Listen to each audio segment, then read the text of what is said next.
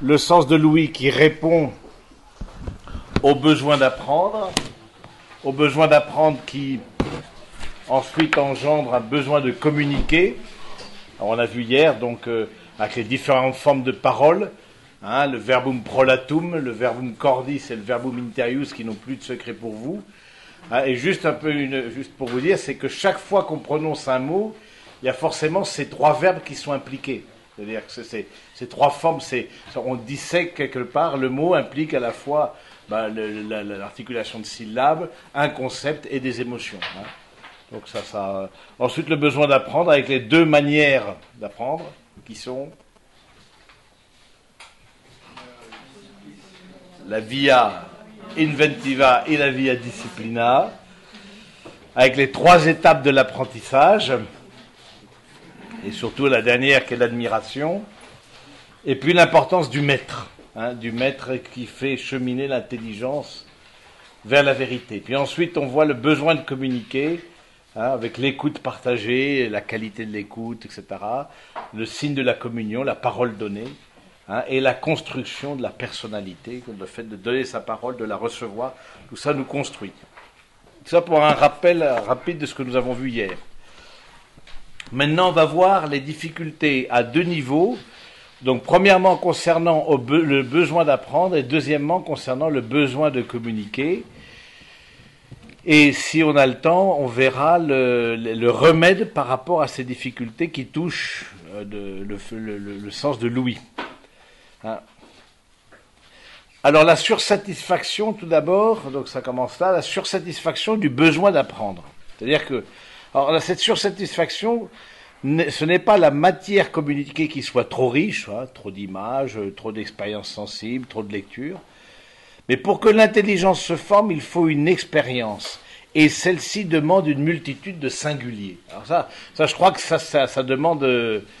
Pour que l'intelligence se forme, il faut une expérience et celle-ci demande une multitude de singuliers. Alors qu'est-ce qu'on appelle singulier? C'est pas tellement par rapport à pluriel, mais si je veux par exemple, comprendre ce qu'est le mot table, ben, ça veut dire aussi que j'ai fait l'expérience ben, de table Louis XVI, de, de bureaux, de, euh, de, de, table en formica, etc. J'ai fait des expériences singulières de tables qui m'ont aidé à approfondir le concept de table. Donc ça veut dire que une sursatisfaction, c'est quand l'intelligence est nourrie, mais n'a pas la capacité d'en faire l'expérience. C'est là où un maître, c'est difficile, c'est il doit à la fois faire euh, euh, expliquer les, concepts et à la fois, d'une certaine manière, les faire expérimenter, les faire toucher du doigt, ce qu'on appelle des travaux pratiques aussi hein, dans les études. Hein. Donc, euh, hein, donc il y a une satisfaction, il y a une sursatisfaction quand justement il n'y a pas d'adéquation entre l'enseignement qui est donné et l'expérience qui est donnée.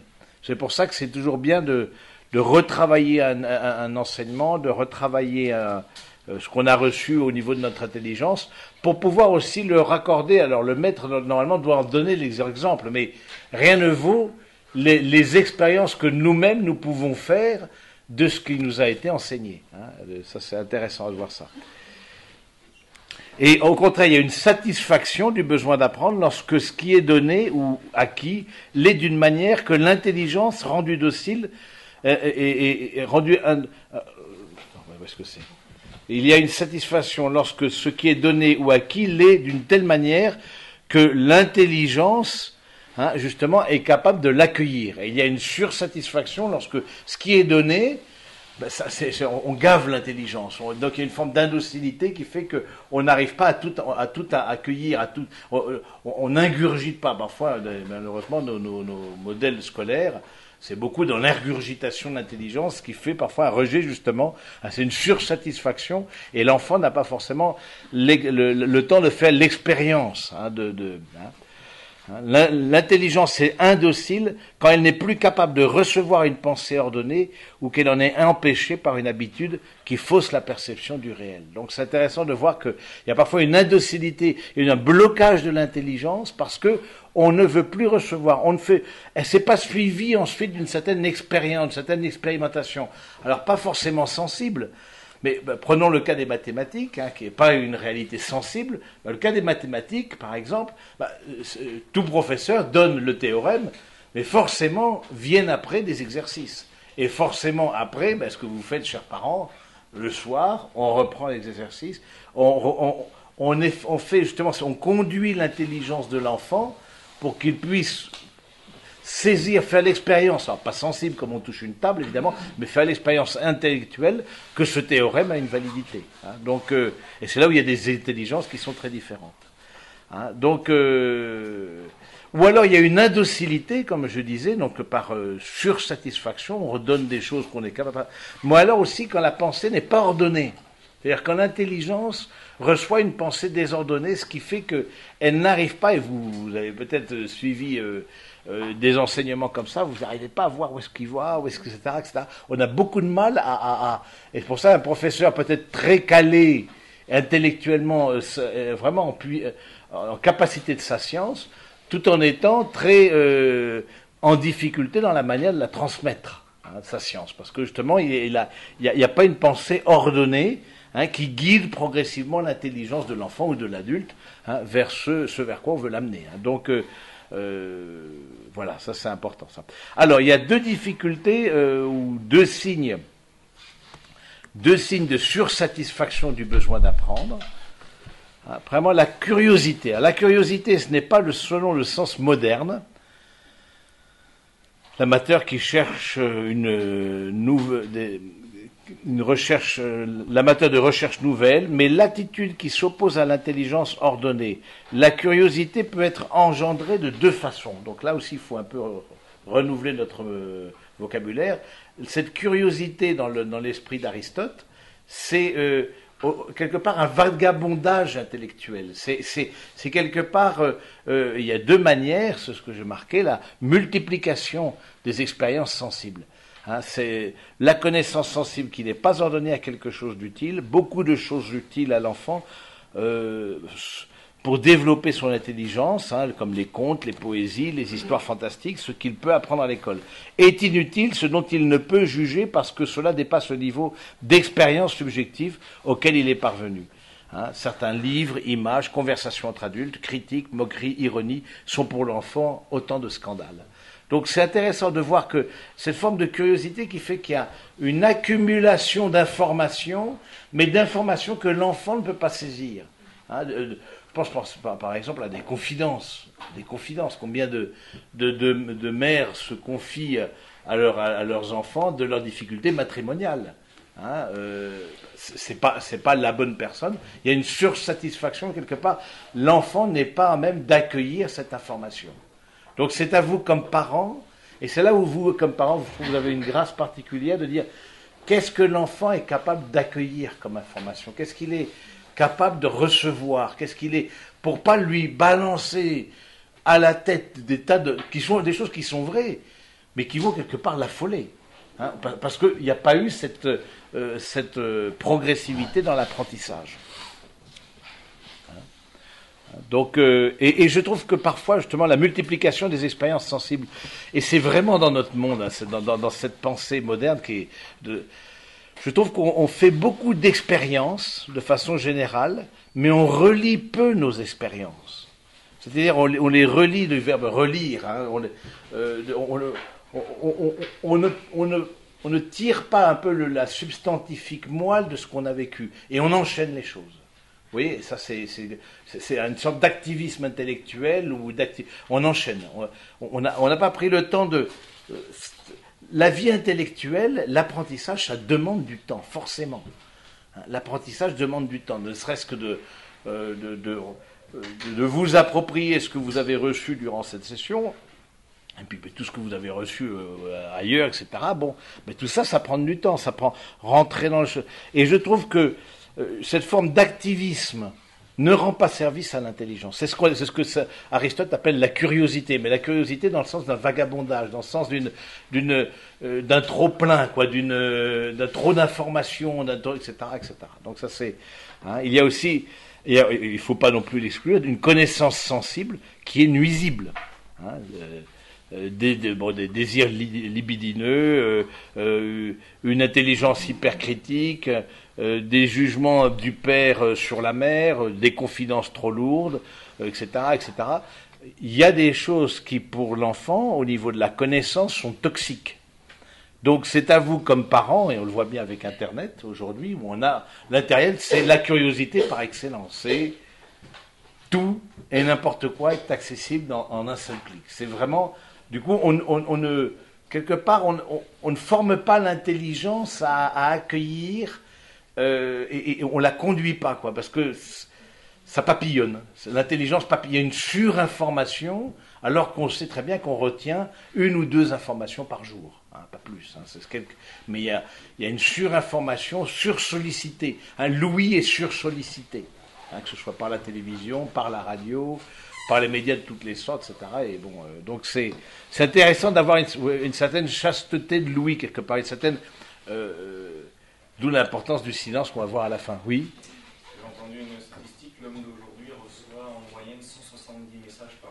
Oui, c'est ça.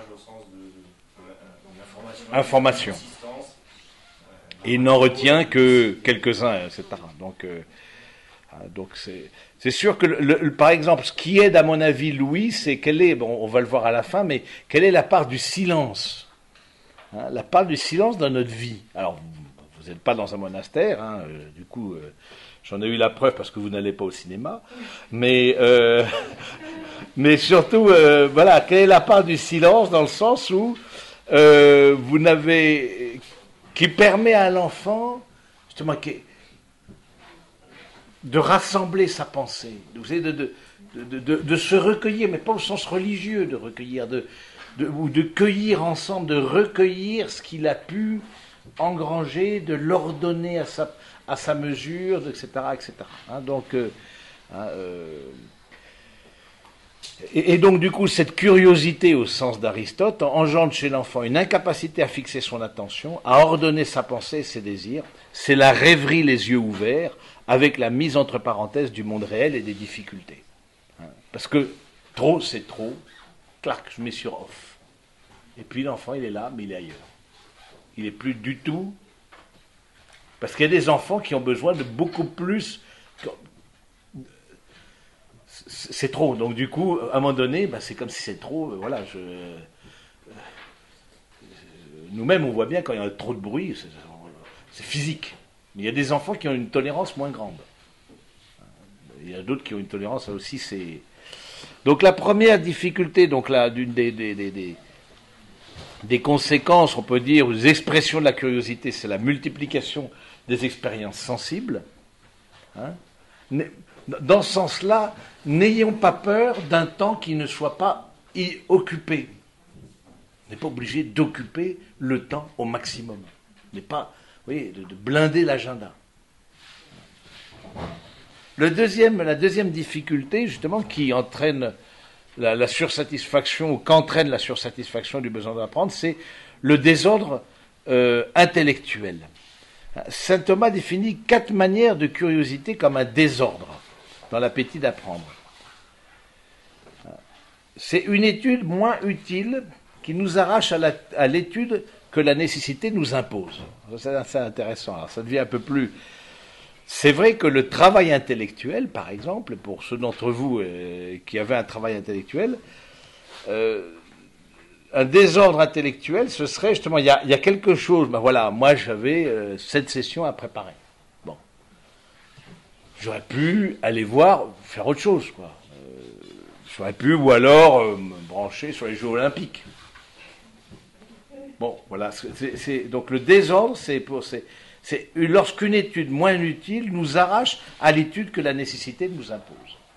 C'est-à-dire, au fond, euh, ce qu'on appellerait aussi le devoir d'État, mais il y a, quand même une certaine discipline au, plan de l'apprentissage. et justement, cette, ce, papillonnage intellectuel de l'apprentissage fait qu'on n'arrive pas à se fixer sur une étude et à aller un peu plus à fond. Hein? Lorsqu'on souhaite être instruit par celui à qui il n'est pas permis de s'adresser. Alors là, saint Thomas d'Aquin donc fait allusion à deux choses, à la question du spiritisme et à la question des pratiques occultes. C'est-à-dire que je veux savoir des choses, mais par un moyen évidemment euh, contraire à la parole de Dieu, ça c'est tout à fait dénoncé dans la parole de Dieu, et pourtant assez commun, spiritisme, euh, divination, euh, actes occultes, etc. Hein, je, veux savoir les choses, donc on est dans le désordre intellectuel, je veux savoir les choses, mais en m'adressant à la mauvaise personne. Et puis lorsqu'on souhaite connaître la vérité, sans se référer à la vraie fin, c'est-à-dire à la connaissance de Dieu. C'est-à-dire cette vérité-là, cette connaissance-là, elle n'est pas finalisée. C'est la connaissance pour la connaissance. Ah, ça, c'est le troisième point. Et lorsqu'on cherche à connaître la vérité, en dépassant les possibilités de notre propre talent, et tomber facilement dans l'erreur. C'est-à-dire que c'est intéressant de voir ces quatre manières de désordre intellectuel, c'est-à-dire que on veut aller peut-être trop loin et, on n'en est pas capable, ce qui veut dire qu'il y a une humilité dans l'intelligence. Qu'est-ce qu'on est capable d'étudier? On n'a pas tous les mêmes ouvertures, on n'a pas tous la même manière de faire. Qu'est-ce qu'on est capable d'étudier? Et parfois, une sorte d'orgueil intellectuel va nous faire tomber dans l'erreur précisément parce que on n'a pas cette forme d'intelligence-là. On n'a pas cette capacité de, connaître tout. Et donc, euh, la, présomption va faire que, voilà, on se lance dans un truc et, en fait, on n'y arrivera pas. Donc, hein, je répète, hein, c'est soit vagabonder, aller dans une, étude moins utile, soit être instruit par des personnes mais qui n'est pas permis, auxquelles il n'est pas permis de s'adresser, le spiritisme, hein, accumuler la connaissance sans finalité, et, sans ordre au fond. qui dit finalité dit ordre. Il n'y a pas d'ordre dans l'intelligence. C'est, l'accumulation, on gave. On gave, mais il n'y a pas d'ordre. Pas à quoi ça sert, vers quoi ça va, euh, on, ne voit pas du tout. Hein. Ou alors quand on voit, on va au-delà de ses propres euh, capacités et on, risque de tomber dans l'erreur.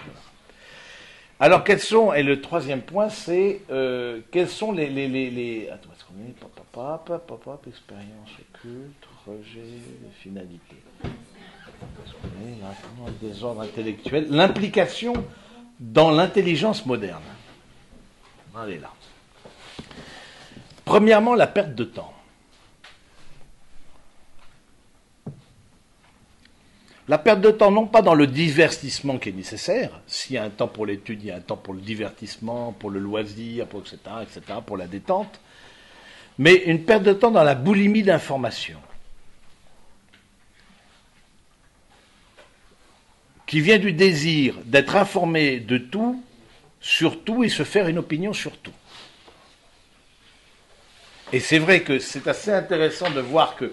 Et c'est vrai que c'est là où c'est pas facile, parce que l'intelligence est quelque chose d'infini. Et il y, a des personnes qui ont une, un désir de connaître, mais un grand, grand désir de connaître. Mais saint Thomas, et c'est assez intéressant, lit, il dit plus une personne intelligente est intelligente, plus elle doit pratiquer une vertu, c'est la tempérance.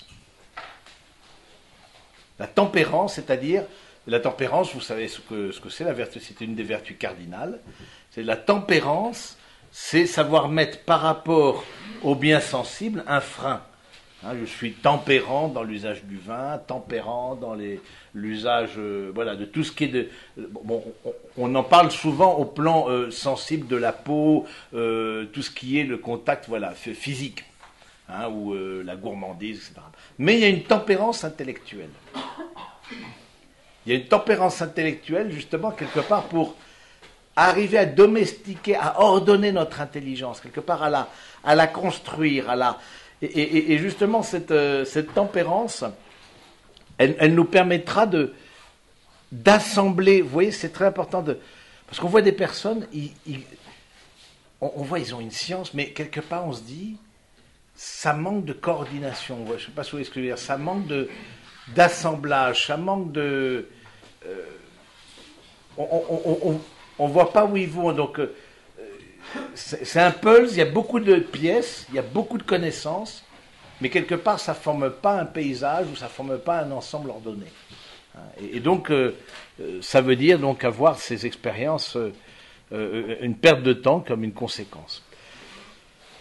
Ensuite, une des difficultés, euh, le, fait de s'adresser à des personnes, donc à des expériences occultes, comme une connaissance, une source de connaissance, une source d'apprentissage. Hein, chez les jeunes et les adultes, l'occultisme, l'ésotérisme, le merveilleux, le psychospirituel d'une certaine manière, hein, euh, qui développe une religiosité, une crédulité. Hein, euh, c'est intéressant de voir le Père Verlinde. Ça vous dit quelque chose, le Père Verlinde Père Verlinde, qui a prêché le carême à Notre-Dame il y a déjà plusieurs années, qui lui-même euh, a été en Inde, a fait l'expérience de suivre un gourou, mais au sens indien du terme, c'est-à-dire d'un maître, etc. Il était tellement euh, habile dans son art et dans la maîtrise de ses propres énergies, parce qu'évidemment, dans, une personne humaine, il y a des tas d'énergies. Ça, c'est des réalités. Et du coup, dans, la, sagesse indienne aussi, il y a cette capacité de mettre, de, capter ses propres énergies.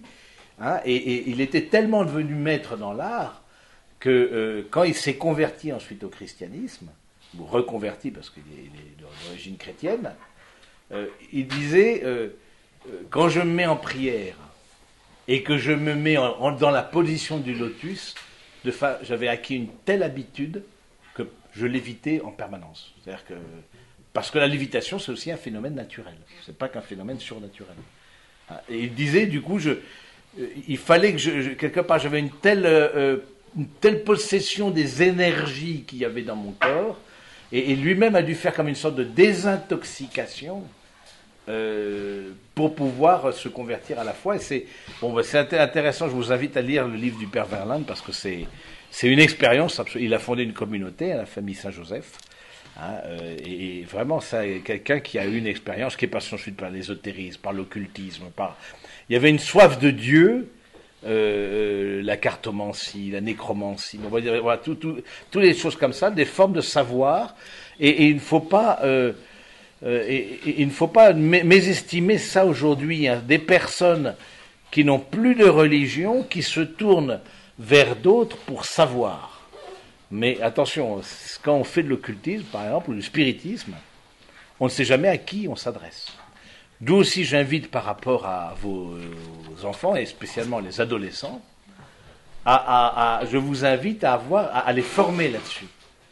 Euh, de dire que peut-être, c'est vrai, dans le spiritisme, quelque part j'y crois, c'est-à-dire qu'on fait appel à un esprit. Mais à quel esprit? Quel est l'esprit qu'on rencontre?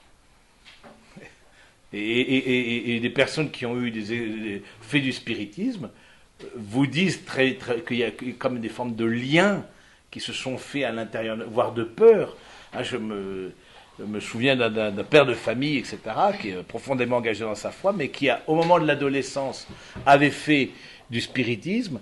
Eh bien, en est sorti pour lui une telle peur, par exemple, une peur de l'obscurité, qu'il ne pouvait même, la difficulté de sortir dehors. Il était angoissé à cette idée dehors dans le noir.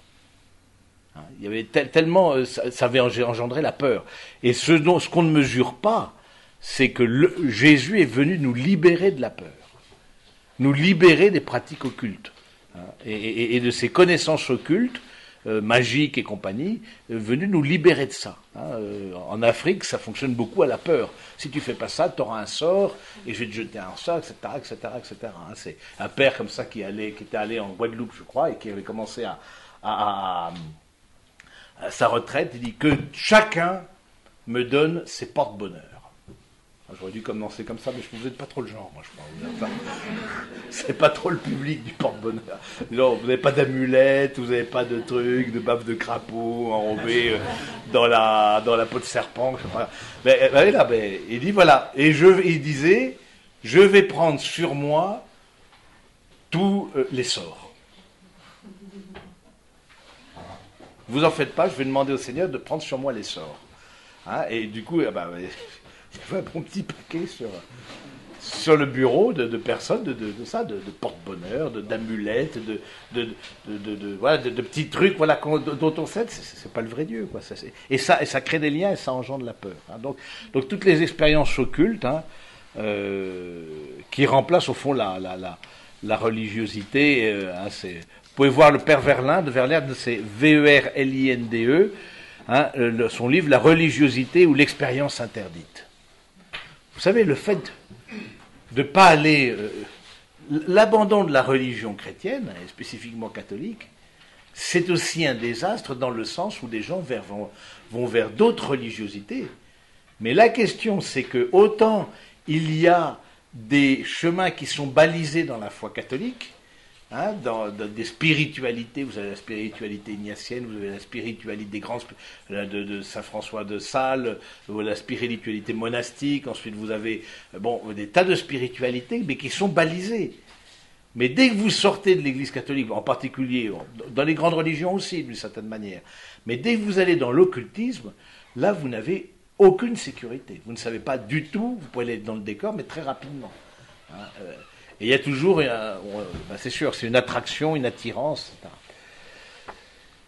Une des conséquences de cette surinformation, de ce surapprentissage au niveau de l'intelligence moderne, c'est le rejet euh, de la finalité. C'est-à-dire, je l'ai un petit peu dit, hein, c'est ce que disait Auguste Comte, cette obscure cause finale.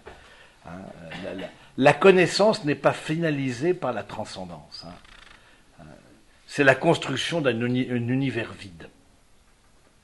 Ça, ne mène à rien. Je veux dire, Et on voit bien l'homme sans Dieu. L'homme sans Dieu, mais c'est une misère, c'est une misère, parce que il a des capacités mais extraordinaires. Tournant une girouette, une boussole sans le nord. C'est vraiment, c'est vraiment ça. Et, je crois que euh, une des conséquences, justement, c'est ce rejet des finalités, de dire. Et, on voit bien le, le relativisme. Le relativisme, c'est le rejet des finalités. À chaque, il n'y a pas, il a pas quelque chose qui te guide et qui nous guiderait dans la recherche. Chacun fait ce qu'il veut, chacun, et je te respecte. du coup, vous voyez, le relativisme empêche le dialogue. Parce que pour qu'il y ait dialogue, c'est ce qu'on a vu hier par rapport à l'écoute, pour qu'il y ait dialogue, il faut qu'il y ait un objet sur lequel on porte notre attention et on essaie de découvrir ensemble sur ce que c'est, parce que ça, l'appréhension n'est pas facile pour qu'il y ait un dialogue. Il faut que, voilà, si c'est pour la première fois que je vois un marqueur, ben on regardera. Euh, donc le dialogue, c'est pour découvrir ce que c'est. Hein. Mais si à six mois je dis euh, ça c'est un marqueur et l'autre dit c'est un pinceau, je te respecte, c'est compliqué la vie en société. Oui, parce que du coup, alors c'est vrai que ça écrit, ça, ça marque, on peut faire des tableaux, mais bon, euh, c'est pas un pinceau. D'où que le mot correspond au concept, hein, au verbum cordis. Non, bah, ça c'est. Mais c'est intéressant de voir ça, de voir que. Et puis euh, euh, le rejet des finales. Et puis ensuite l'ambition. Une des conséquences du surinformation ou du surapprentissage, surapprentissage, c'est l'ambition. Mais dans cette, dans cette mesure-là, c'est le désir d'avoir le prestige du savant ou du connaisseur sans en avoir les capacités. Cela correspond au désir d'être honoré, et cela de trois manières. On désire voir reconnaître une supériorité que l'on ne possède pas. On désire des honneurs immérités. On désire l'honneur pour soi sans le reporter à Dieu. L'honneur pour l'honneur sans le mettre au service des autres. Hein, l'ambition est un désir désordonné d'honneur et, qui, vient d'une certaine manière d'une d'une surinformation, du, comment dire, qui, voilà, c'est je veux la connaissance pour l'honneur. Et donc, euh, et, non pas la connaissance pour le don, au fond. Une, connaissance, là aussi, qui est finalisée. La connaissance, c'est pas euh, euh, pour recevoir simplement les palmes académiques. Mais bon, si vous avez reçu les palmes académiques parce que, voilà, on voit que vous avez eu toute une vie d'intellectuel avec un désir de transmettre, vous êtes donné de la peine, etc. Ça a été finalisé par mais, justement, c'est l'ambition dans ce sens-là, euh, intellectuelle, qui fait qu'en fait, on n'a pas vraiment la capacité, mais on, en aspire à avoir l'honneur. L'honneur de savant et du connaisseur sans en avoir les capacités. Donc c'est intéressant ces quatre points de, ces quatre manières, ces quatre applications hein, dans les difficultés de l'intelligence moderne, perte de temps, je répète, expérience occulte, rejet des finalités, l'ambition. L'ambition dans le sens mauvais du terme. Hein, c'est que je n'ai pas les capacités et je veux en avoir les avantages. Une deuxième, ça, va jusque-là? C'est un peu. Ça va, c'est pas, c'est un peu rapide, mais bon, euh, c'est, notre dernier jour. Alors, euh, je voulais prolonger d'une semaine, mais on m'a dit non. C'est bon, ça va à peu près jusque-là? Bon, vous retenez ce que vous. Une deuxième conséquence, on peut dire, de la sursatisfaction du besoin d'apprendre, c'est ce qu'on appelle la jactance. Qu'est-ce que c'est que la jactance? La personne s'exalte elle-même en parole ou en acte. On s'exalte quand on parle de soi au-dessus de ce qu'on est. Hein, jacter, jacter, ça vient de le fait de jeter. Hein, on s'élève, on se, met plus haut, on se jette plus haut que ce que l'on est. Hein, donc c'est numéro 2, la jactance. On s'exalte en dépensant les idées que les hommes ont de nous. Voilà. La, surconnaissance ou la connaissance mal finalisée, mal assimilée, va entraîner la jactance. Hein, euh, et, on voit bien euh, l'apôtre Paul, par exemple, qui dit hein, aux 2 Corinthiens 12, 6, Si je voulais me glorifier, je ne serais pas un insensé, car je dis la vérité. Mais je m'en abstiens, afin que personne n'ait à mon sujet une opinion supérieure à ce qu'il voit en moi ou à ce qu'il entend de moi. Ça veut dire qu'il y a une modestie dans la connaissance. La jactance, c'est celui qui étale allez, un avis sur tout. Hein, alors il y a des écoles pour ça, par exemple. Hein, donc euh, forcément il a un avis, et on, les forme en plus comme ça. Il faut avoir des avis sur tout, sinon il y a un problème. Et donc du coup, euh, c'est la vaine gloire. C'est le, le, crapaud qui veut devenir plus gros qu'un bœuf. C'est ça. C'est alors qu'on voit bien des personnes. C'est là où ça demande une modestie. les grands scientifiques, etc Hein, un Einstein qu'on ne peut pas dire que c'est un petit esprit, qui disait mais la nature est, comme une montre dont le boîtier est pour moi encore fermé. C'est pour moi un mystère. Hein, parce que le scientifique est un contemplatif. Donc la jactance, c'est l'inverse. La personne qui a de la science, mais qui quelque part en fait un tel étalage, c'est ça. Alors, euh, mais, derrière ça, vous voyez, il y a, une insécurité, c'est attirer la, la, la, bienveillance, attirer le, euh, hein. Cela peut être s'exalter soi-même au-dessus de ce qu'on est réellement. Hein, jactance, jeter au loin, s'élever. La jactance s'oppose dans les deux cas à la vérité, hein, que ce soit pour s'exalter soi-même ou pour aller au-delà des idées que les autres ont de nous. Hein, la jactance. Donc, ça s'oppose à la vérité, parce que du coup, pour pouvoir être mis très haut dans l'idée de l'autre, je dis des choses qui sont fausses. Ben, j'invente ça.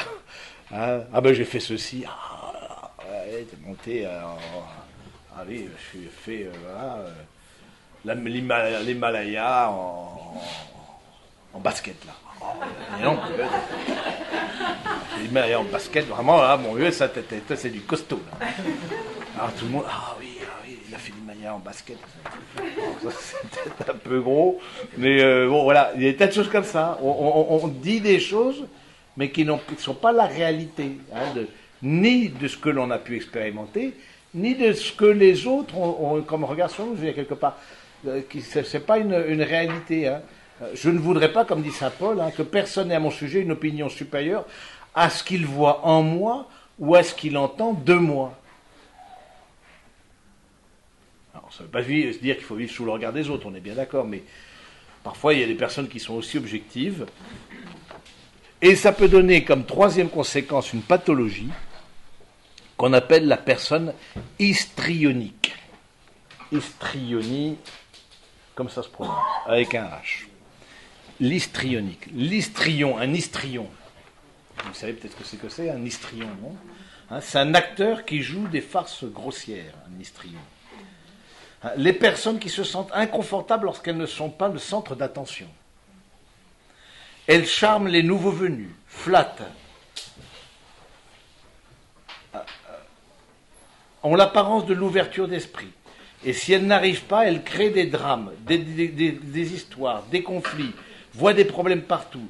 Elles sont préoccupées par ce qui impressionne, se prennent au jeu de la vanité et se croiront plus aimées, plus recherchées qu'elles ne le sont. Voilà. Donc c'est intéressant de voir cette, euh, les personnes euh, histrioniques. Donc ça c'est, des personnes que si l'attention n'est pas centrée sur elles, elles ont l'impression de disparaître. Et donc que ce soit par la jactance, que ce soit par euh, ce qu'on a pu l'ambition, etc., ou que ce soit en créant des difficultés, eh bien ces personnes ont le désir. Vous voyez, c'est c'est quelque chose, justement, c'est cette pathologie qui fait que la connaissance se renferme sur elle-même, elle est plus orientée à un don. Ça va jusque-là? Ça, ça va à peu près? Oui? Est-ce que le mensonge fait partie de la jactance? Euh, Oui, ça peut aller jusqu'au mensonge. C'est une des conséquences. Tu vois, c'est tout à fait une conséquence parce que, voilà, on peut. Alors, pas le mensonge, alors attention, pas le mensonge. La jactance s'oppose à la vérité, c'est ce qu'on a dit. Je ne parle pas le mensonge d'enfants, de, etc., des personnes, bon. Euh, mais le, mensonge d'adultes, justement, qui disent des choses qu'ils n'ont pas faites. Mais derrière ça, c'est un désir de briller dans l'intelligence de l'autre, d'avoir une idée, que l'autre ait une idée supérieure de ce que je suis en réalité. C'est dû à l'orgueil, non? Oui, c'est dû à l'orgueil, mais ça peut être dû aussi à des blessures, quelque part, une insécurité. Personne, il faut toujours qu'elles en rajoutent. Il faut toujours, on se dit, tiens, on, sent justement notre cogitative et en alerte. Et on se dit, tiens, dit ça, mais c'est curieux, parce que quand je suis passé, ben, je sais pas quoi, un chef de vente, ah, on a fait telle vente, on a fait, etc., c'est extraordinaire. Il a parlé à un autre commercial qui a dit, tu sais, c'est tellement dur.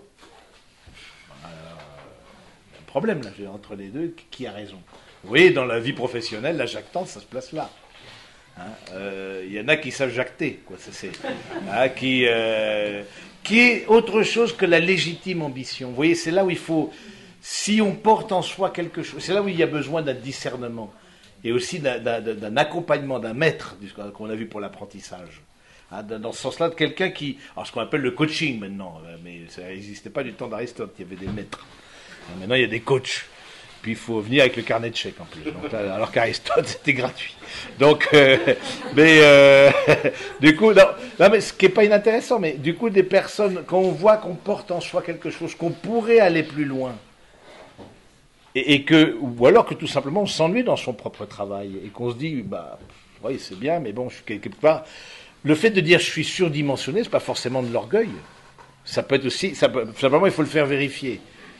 Parce qu'il y a parfois des tendances, beaucoup des personnes se croient toujours surdimensionnées pour tout. Donc, euh, mais, mais est-ce que c'est quelque chose qui est objectif? Est-ce que c'est de la jactance? Est-ce que c'est de la légitime ambition de, Et est-ce que c'est finalisé, la responsabilité supplémentaire, par un désir de servir? De ramener cet honneur à Dieu, parce que qui dit une responsabilité dit un honneur qui est attaché à cette responsabilité, de ramener cet honneur à Dieu ou de ramener cet honneur au service des autres. Mais vous voyez, une intelligence, un savoir qui claque, se replie sur soi-même, se gonfle. Vous voyez, des personnes qui se gonflent. Hein, euh, c'est extrême. Mais ça en est même pitoyable parfois.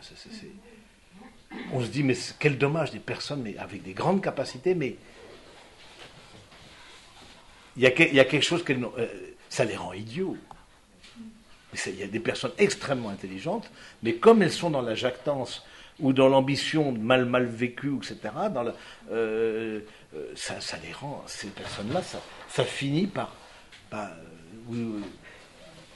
bah, tout le monde s'en moque, ce qui est vraiment dommage.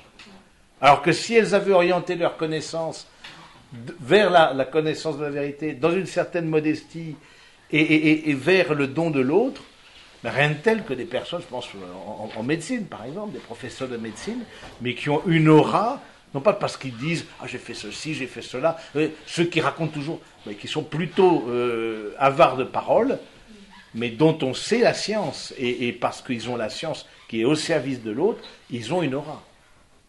Mais ne cherchent pas à attirer pour eux-mêmes. C'est la différence par rapport au maître entre le maître et le gourou. Le maître n'attire pas pour lui-même.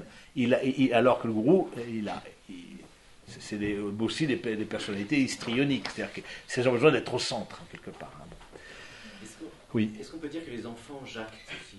Ah, Les enfants jactent, ah oui, mais alors, oui, c'est vrai. Ils s'imagine, il raconte Alors, des et- choses vraies. alors, euh, alors ça, c'est vrai qu'on peut dire qu'ils peuvent jacter dans le sens où se, se mettre un peu plus au-dessus.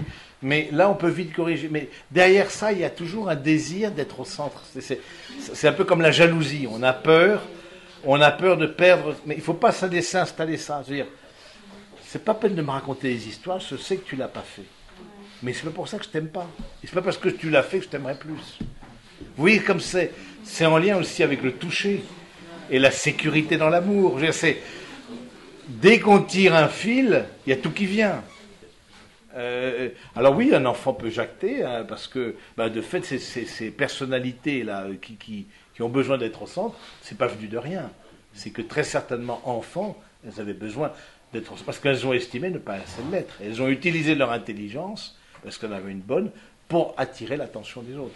Donc, euh, oui, un enfant peut jacter. Alors qu'on perçoit, alors c'est un peu différent quand il invente des choses, mais euh, là aussi c'est à vous de juger. Mais quand vous sentez qu'il y a vraiment un désir de briller, mais qui n'est pas légitime, autant c'est bien d'honorer un enfant parce qu'il y a quelque chose de légitime, parce qu'il a franchi une étape, etc.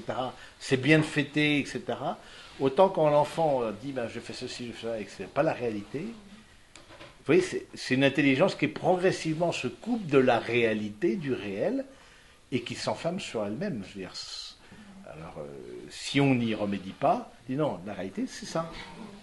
Mais on est très bien, c'est très bien comme ça. Je veux dire, n'invente pas, ne va pas plus loin. Deuxième donc, sursatisfaction, sous-satisfaction. Ça va, là on, est, on drop un peu, mais bon, euh, voilà. Sous-satisfaction. Le désir d'apprendre peut être éteint par les circonstances suivantes. Premièrement, le mutisme du père.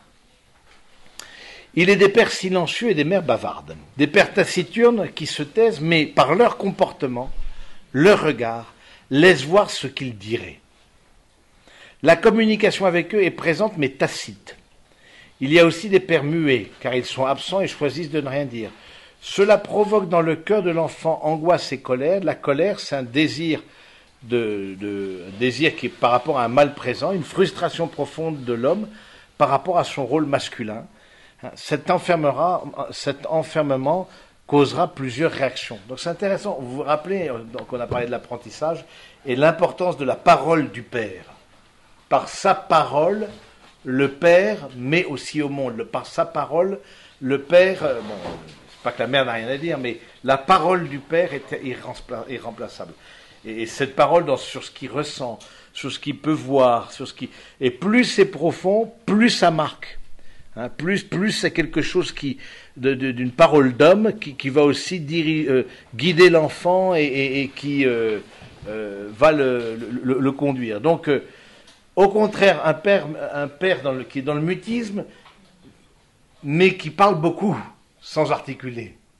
C'est-à-dire que on le sent insatisfait, mais il ne dit pas pourquoi.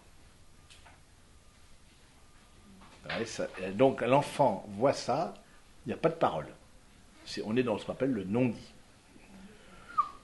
Dans le genre angoissant, ça se place là. On sent- il sent qu'il y a quelque chose qui ne va pas, mais il ne sait pas ce qui ne va pas. Hein, Le mutisme du père, hein, mais, qui s'exprime, hein, comme je dis, hein, père, tu se par leur comportement, leur regard, laisse voir ce qu'ils diraient. Ou des hochements d'épaule, des, des regards comme ça, ou voilà. Le corps qui parle et, l'enfant qui voit ça et qui dit il y a un problème. Là, ça c'est une source d'angoisse, mais maximum. Ah, donc euh, c'est, alors ça entraîne plusieurs choses, deux choses. Premièrement, un mutisme imitatif. Mutisme imitatif. C'est-à-dire c'est une forme de phobie sociale, incapacité de parler en situation sociale, à, l'école ou avec des camarades. Il est muet devant une autorité. Il y a une grande anxiété, ce qui est la marque d'une sorte de malaise social. Faut d'avoir été introduit par le père dans la réalité sociale. Cette dernière lui paraissant écrasante, il se tait. Le muet engendre le muet. Donc c'est intéressant de voir que le père, c'est le premier étranger que l'enfant rencontre. Il y a la mère, Ensuite, le premier autre qui n'est pas la mère, qui n'est pas lui, c'est en général le père. Et le père a cette fonction sociale, socialisante, de, comme on l'a dit, mettre au monde par sa parole, par sa. euh, c'est très très important. Ça, c'est le, le, fait de, justement d'éduquer là-dedans et, de dire à la fois ce qu'il ressent, de dire à la fois ce qu'il veut, où est-ce qu'il a voulu quand, l'enfant est à, à, même de le comprendre, où est-ce qu'il a voulu conduire l'enfant, euh, où est-ce que pourquoi il fait ça, d'encourager, de, de, de, mais, en tout cas le, mutisme. Alors, il y a maintenant, on ne choisit pas forcément, parce que peut-être soi-même on a eu un père euh, qui était dans le mutisme, qui nous a rien dit et qui, nous a le fait d'avoir cette statue du commandeur en face de soi. C'est juste euh, écrasant. On voit quelqu'un qui a une grosse stature, mais qui ne dit rien. Voilà, voilà. Donc, mutisme, une des conséquences, c'est le mutisme imitatif. La deuxième conséquence, c'est la personnalité fuyante. C'est le modèle de l'inhibition sociale, sentiment d'infériorité, hypersensibilité avec une évaluation négative peur maladive de la critique et des responsabilités qui engendraient la critique, s'isole du groupe, défaite, répugnance à parler de soi, peur du ridicule, honte. Donc on, on voit fait ces, euh, ces, personnalités, on, on, voit des enfants, euh, je pense à certaines personnes, des enfants qui ont été apeurés.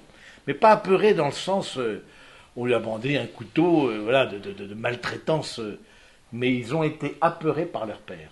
Ils ont, ils ont, il y a une peur. Ils ont eu une peur et donc du coup, prendre la parole en public, euh, euh, aller dans un groupe social, euh, tout de suite il y a une forme de honte, tout de suite il y a une forme de, voilà, de, difficulté à, aller vers l'autre. Hein. Hein, donc ça, je trouve que bon. Deuxième conséquence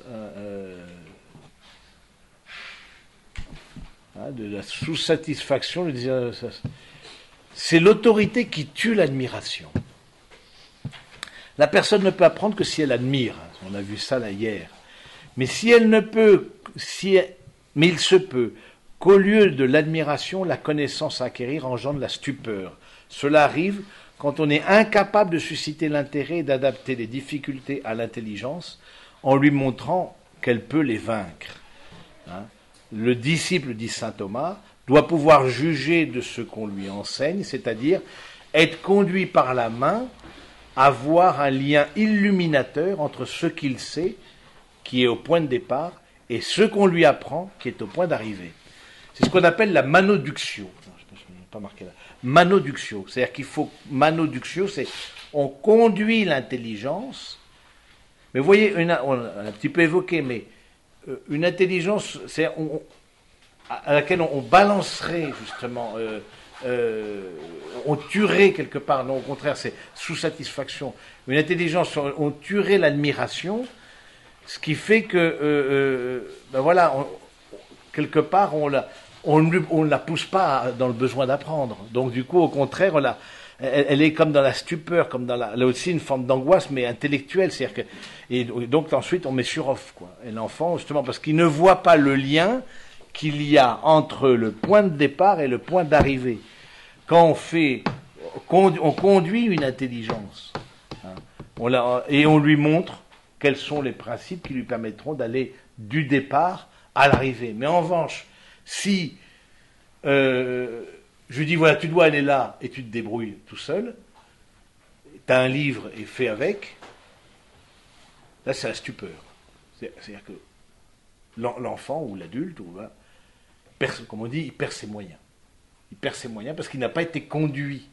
Il n'a pas été conduit de ce qu'il peut savoir, des principes de départ, jusqu'au principe d'arrivée, jusqu'au point d'arrivée. Il n'a pas eu la lumière, hein, parce que ce qui était dit là, hein, euh, il n'a pas eu une lumière suffisante dans l'intelligence hein, pour, pour euh, donc ça veut dire adapter, ça veut dire que en fait l'autorité a euh, quelque part n'a pas adapté le, le, les difficultés à l'intelligence et en montrant comment elle pouvait les vaincre. C'est vrai pour l'intelligence, c'est vrai pour tout. Autant il ne faut pas priver, surprotéger son enfant, on a vu ça, et de, des difficultés, c'est pas lui rendre service d'ouvrir des parachutes en permanence. Hein. Euh, autant euh, euh, voilà, lui mettre un mur de, 10 mètres alors qu'il n'a que 5 ans, ça va pas le faire. Il faut toujours proportionner. L'enfance prendra confiance parce qu'il perçoit dans son intelligence qu'il peut vaincre la difficulté, que ça lui est accessible. Ça, c'est à tout point de vue, ça, au niveau sportif, au niveau euh, artistique. Mais l'enfant, il y a la stupeur, donc il n'y a, plus d'admiration quand il, voit quelque chose, mais c'est un mur. C'est-à-dire, c'est, il ne voit pas du tout comment y arriver. Il ne voit pas du tout comment. Donc il faut le conduire, il faut peut-être rabaisser, il faut, voilà, il faut, avec patience. Euh,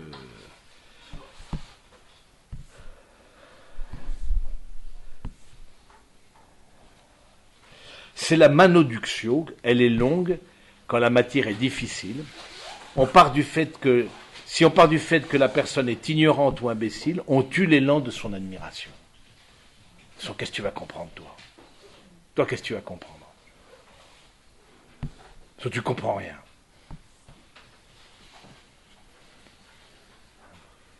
La manoduction est impossible si l'autorité est lointaine, froide, dure, punitive, méprisante. Il faut, et ce que dira aussi euh, Aristote, pour conduire l'intelligence, il faut une amitié. Parce qu'il faut aussi solliciter les autres parties de notre être. On n'est pas que des cerveaux sur pattes. Il faut aussi une amitié. Euh, qui, qui, et une amitié et un amour, hein, dans le cas des parents. Hein, c'est très, très, très beau de voir ça, justement, de voir que l'amitié, au fond, hein, finalise aussi la condition du développement intellectuel, comme de, de l'équilibre affectif.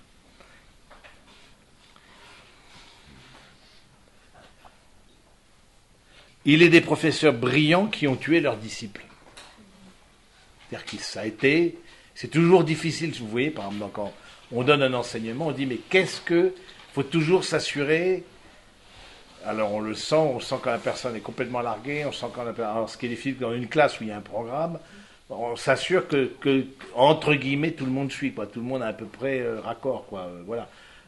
pas tout capter, mais en tout cas il n'y a pas un qui est complètement euh, en, dehors de, voilà il faut, faut le dire quoi. Hein. donc hein. D'où, par exemple, dans, à l'école, bah, tout ce travail qui est très bien, moi je trouve, c'est, de, prendre à part de, de, tutorial, tutoring, de, prendre à part des enfants, de faire une manoduction. C'est parce que les enfants qui viennent de, parents étrangers, qui viennent de situations euh, blessantes, qui viennent, voilà. Et l'apprentissage leur est bien difficile pour d'autres raisons du reste. Pas qu'ils n'ont pas d'intelligence, hein, mais qui ne, voilà, il faut simplement les prendre par la main. Lorsque l'admiration est morte ou diminuée et qu'il n'y a plus de désir d'apprendre, l'intelligence risque de se fourvoyer dans la curiosité, c'est ce qu'on a vu, hein, dans l'hébétude, c'est-à-dire qu'elle n'est plus capable de recevoir et de pénétrer les vérités les plus élevées.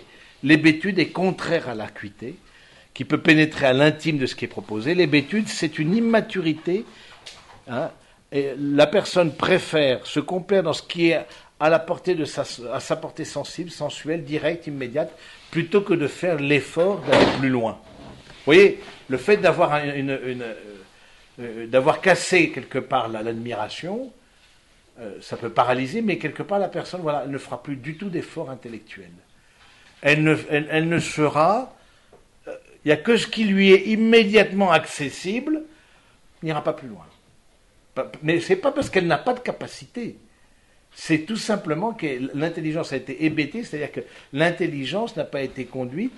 Hein, euh, on a tué l'admiration, du coup, on dit je n'apprendrai plus. Là, c'est fini. Verrouillage. Pour apprendre, il faut une confiance aussi. On en revient toujours au même. Pour apprendre, il faut un amour, il faut une amitié, il faut, faut quelqu'un qui prenne soin de vous, il faut quelqu'un qui.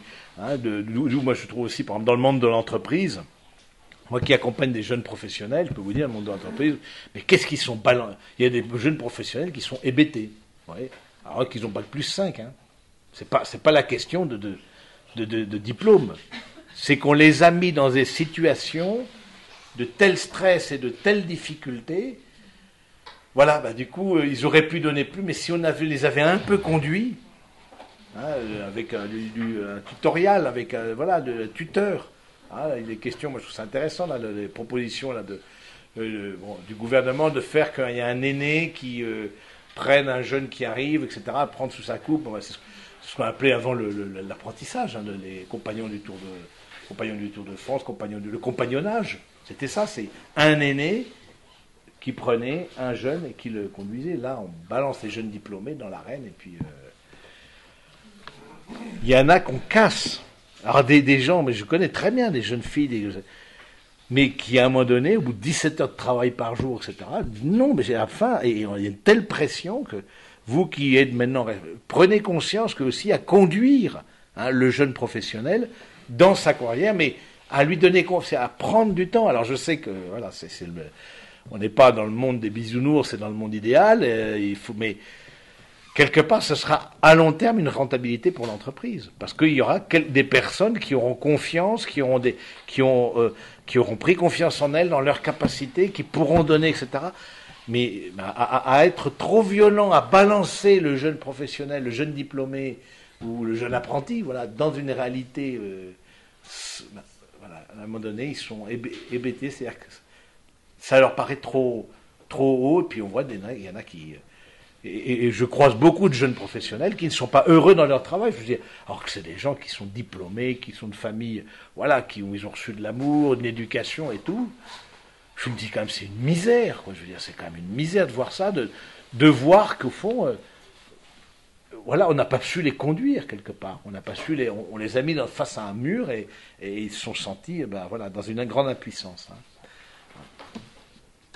Donc du coup, ben, voilà, on, reste à ce qu'on sait faire immédiatement. Ben, vous, me mettiez, voilà, euh, euh, je sais pas, vous j'ai bac plus 5, mais vous me mettez dans le poste, au moins, je suis sûr que j'y arriverai.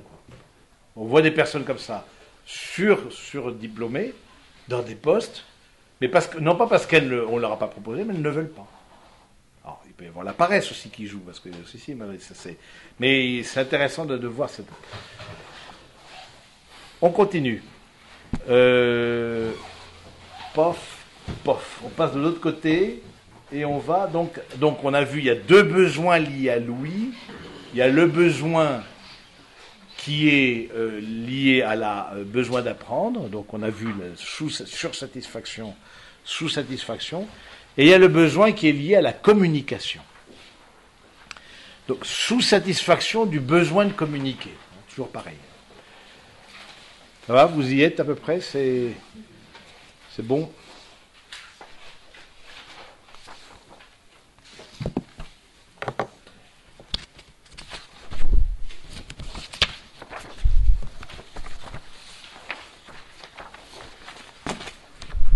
La communication est le fait d'une personne qui a atteint une maturité, qui est sortie de l'égocentrisme qui caractérise l'enfant. C'est la personne qui se tourne vers les autres. Cela se rattache à la justice, hein, parce que vous savez que la vertu de justice, hein, c'est rendre à chacun, dès que c'est un contact avec l'autre, c'est la vertu de justice qui est en jeu. Cela se rattache à la justice car cela touche aux relations sociales qui tournent la volonté vers les autres. Tant que la personne n'a pas renoncé à l'enfance, L'autre est un objet menaçant ou gratifiant, le prolongement de moi-même. Communiquer, c'est entrer dans le principe de réalité, pas simplement dans le principe de plaisir.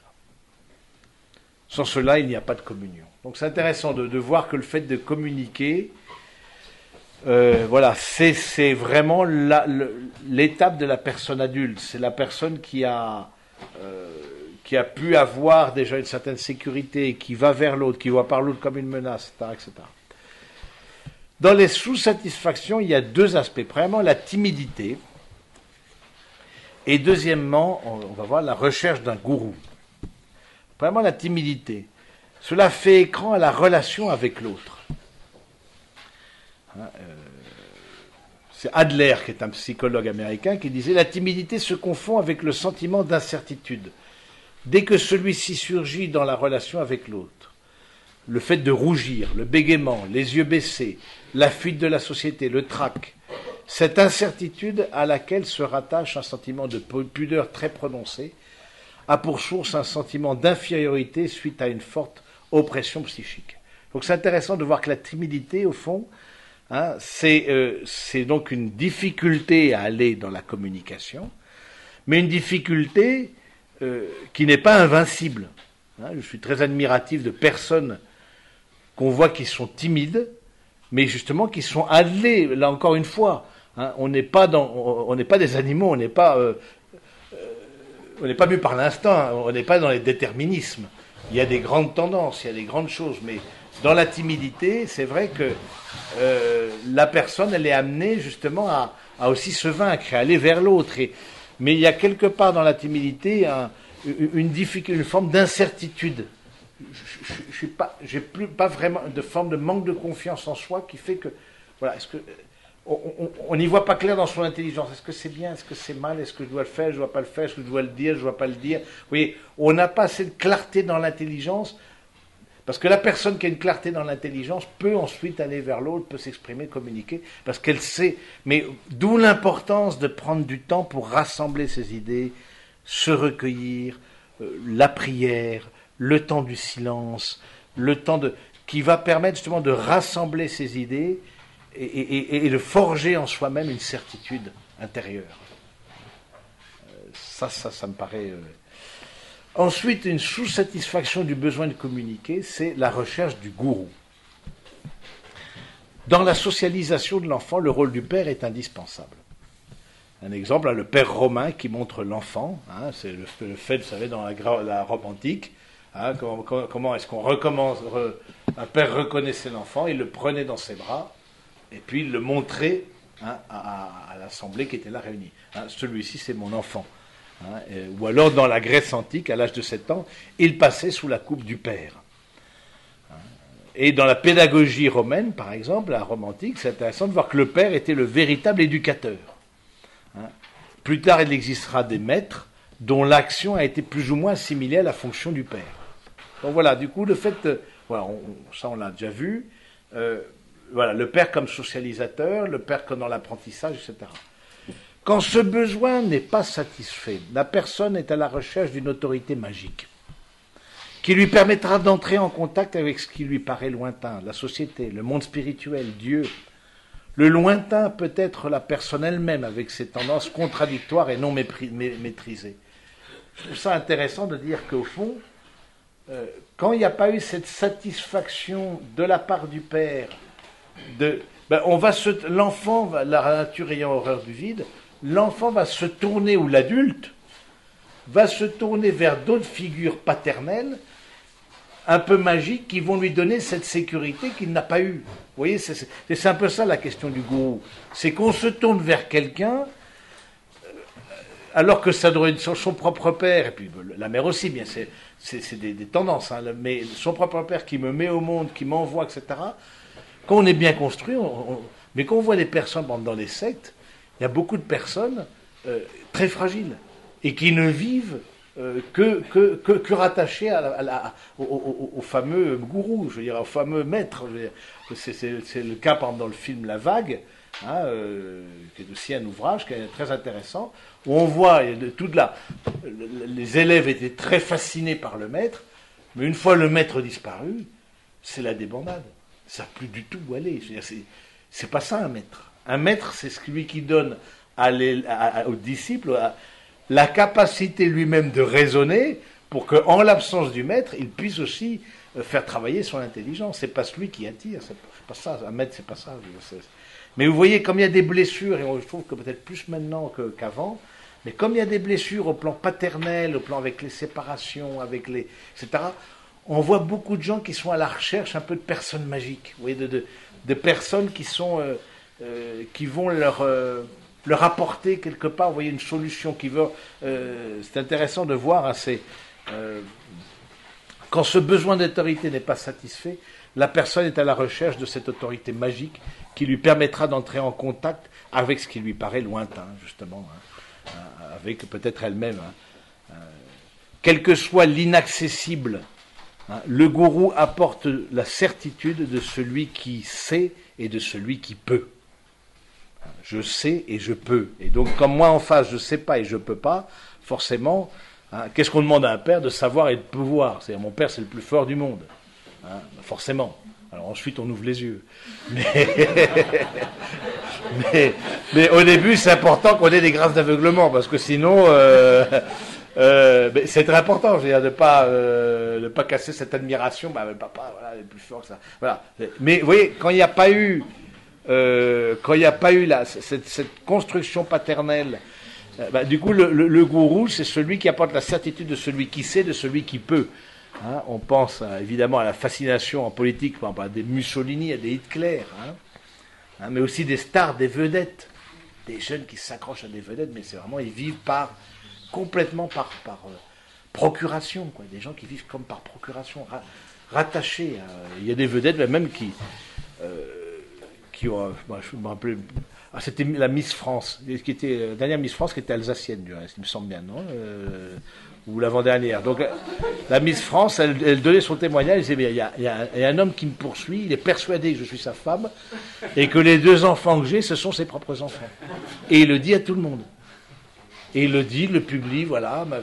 il- alors qu'elle, elle n'est peut rien. Elle, est- elle jolie, c'est tout, mais bon, elle peut rien. Mais, euh, alors qu'elle a un mari, bah, des personnes qui vivent que par procuration. Donc, euh, hein, ou alors on prend un, chef de, secte ou au plan psychologique, l'emballement hein, pour un perspi, un animateur charismatique, un thaumaturge, bon voilà. Tout- toutes les personnalités qui, euh, je me dis, si je les suis, j'aurai accès à quelque chose qui aujourd'hui m'est impossible. Hein, parce que lui, il sait, lui, il peut. S'il vous plaît. Oui. Euh, et alors, comment nous positionner justement dans les. Vous parlez des familles, euh, séparation, tout ça. Finalement, au travers des amis, des enfants qui peuvent être à la maison, euh, dans nos couples, aujourd'hui, qui, on va dire, qui vivront, comment nous se positionner, en, en- moi, en tant que père, parce qu'ils nous voient vivre, ces, ces enfants-là qui viennent chez nous, Voilà. Oui. Ce que, vous êtes en train de dire, parce que là, comment Oui. Alors- faire avec ces enfants? Moi, je vois bien des, des amis des enfants qui, d'un seul coup, euh, je, vais, euh, je vais jouer la voix ou je vais, je vais donner une, une règle pour le jeu. Je les vois vraiment, ils, ils attendent quelque chose, ils n'ont pas ça à la maison.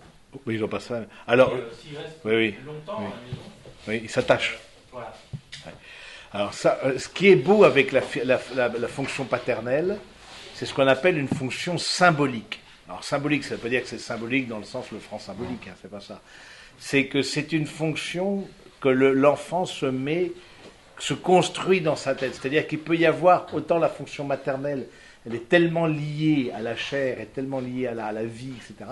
Autant la fonction paternelle, l'enfant peut très bien transposer sur un autre, parce qu'il n'a pas de manque, Hein, c'est un relais paternel quelque part. Alors, c'est pas forcément mauvais. Ça peut lui servir de béquille pour un temps. Voilà, il vient à la maison, il vient. euh, alors, il- faut doser, bien sûr. Il faut. euh, euh, mais, mais il, je crois que quand justement il y a une absence, il y a une carence de la fonction paternelle pour X raisons, hein, par absence, par euh, bon, pour tout ce qu'on a, on n'a pas on n'a pas tout vu, mais quand il y a une carence, eh bien justement, il, y a- il peut y avoir des palliatifs, il peut y avoir des. Je trouve ça très beau. La nature est très bien faite justement parce que on peut basculer, mais ne serait-ce que par exemple euh, quelqu'un qui perd son, euh, son, son père très jeune. Bon voilà, mais il n'y peut rien, hein, c'est comme ça.